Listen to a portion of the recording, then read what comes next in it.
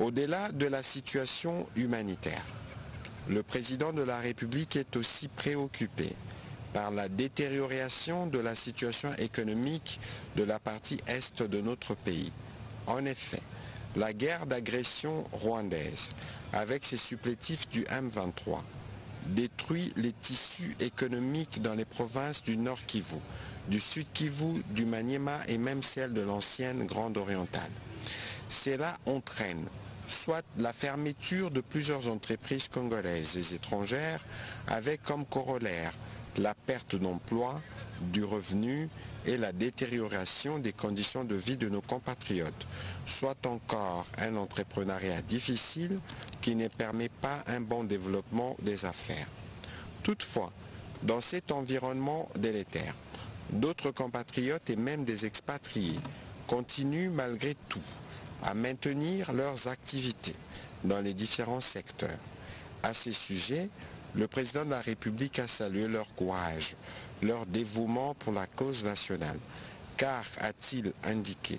il s'agit là d'un acte de bravoure.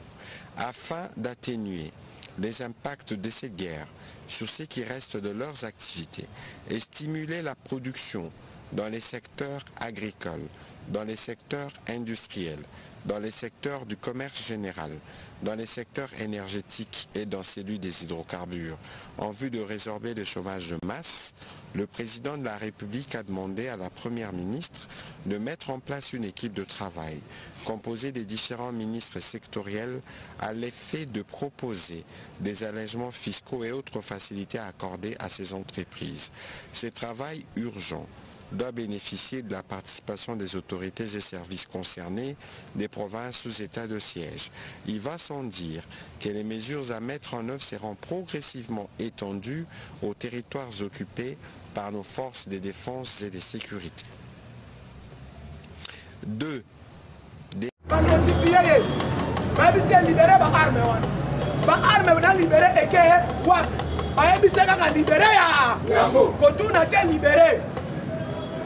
source de provenance yango bakangi ngo na brésil ce sont des armes sophistiquées oyo ezoyakotoisisa bitumba ya este me bango babloke yango biso mpe lobi kaka jour wana ebisi bino le premier ministre a notifié le numéro 1 secrétaire d'état américain antony blinken ayebisi ah, antony blinken soki baarme wana olibere yango te toza mpe susu na posa ya mbongo ya états-unis te toyebi so na mposa ya fmi te toyebi so na mposa ya banke mondiale te nga na ye korepe dossier nyonso kongo aza nango je vais payer tous les dettes mais boye boyela biso so 8 milliard mpo bokomisa ngo dette mosusu toboya oh, ondo bino boza na ke tojo ede bino te na bino eh. toza na mposa ya kimia toa na mposa ya mbongo ya baamerikain te toa na mposa ya mbongo ya france te idps viva ntango bamoni bango balobi eh, oyo ekomi serie bomoni pologne eh. oyo alobaki keno soki bobundina rwanda toye ye wana mbangu ye moko toza na président moko aza na hospitalier l'hospitalité congolaise Eh, eh, eh, sur le plan politique. Yoka, Yoyokana, c'est ça la politique. Sur le plan politique, la politique n'est pas statique. S'il vous plaît, la politique n'est pas statique, mais la politique est dynamique. Dada, sois les lots. Voyez Maka François Mitterrand, l'ami proche à Marshall Mobutu. Mais c'est lui qui a fait partie Mobutu, c'est qui c'est François Mitterrand. François Mitterrand l'ami à Marshall Mobutu la na Mobutu parlant à Mobutu mais Mitterrand asalaki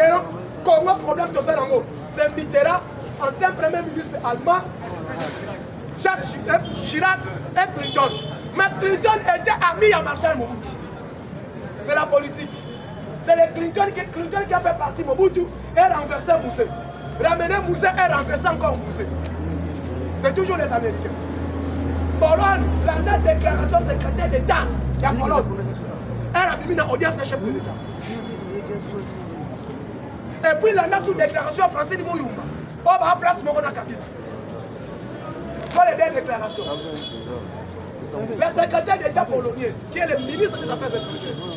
fait pem ya affaires étrangères alobi la république démocratique du congo c'est le pays poussant na sous-région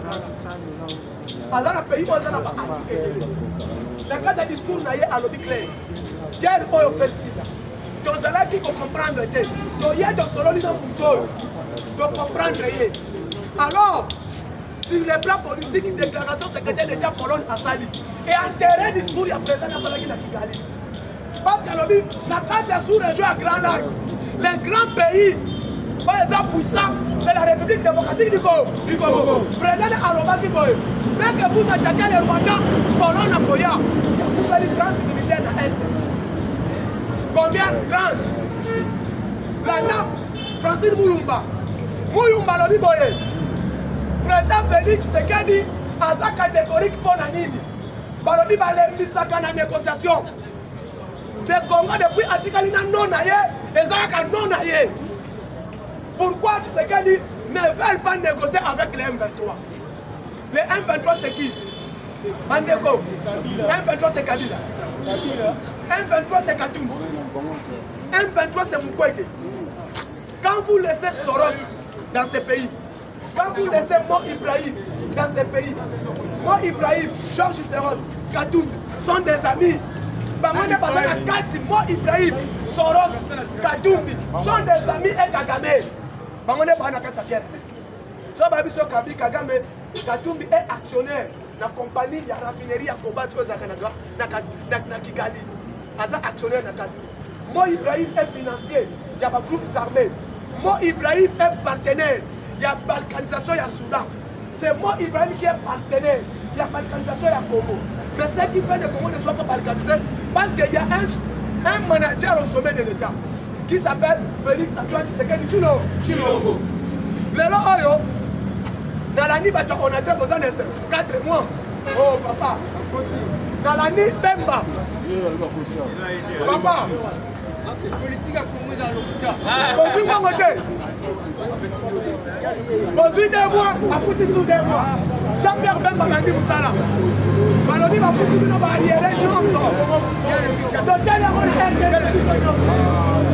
tous les arriérés epeyame or na bino matadi bozwi batur bacatarien idps viva place wana sepeli nango place wana sepeli nango par wamatali esprit sanctionnaire letatarien bakotravaye na l'état congolais qatar azobene 50 biso mpe tozoganye 50 alors bacontene nyonso okota 40 na compte ya onatra mpo arriere ya batravailleur ezala lisusu te seke nga vraiment mpo nazobila onatra nde oh. omoni lelo nalongwe soda lelo namoni courage ya bapapa ya onatra tobetela bango na maboko Détermination, papa, C'est bon, c'est bon. Tomoni courage à papa, on entra. babimisi ministre ya finance na bemba bemba ye na onatra alobi tosigne lelo bariere nyonso ya lukusa don toloba so lukusa nza so na ariere te le 4 mois bato na te soki lelo soso na zoso chaque jour lelo bazwi mbongo ya 2 mois lo biso landi bazosu mbongo ya 2 mois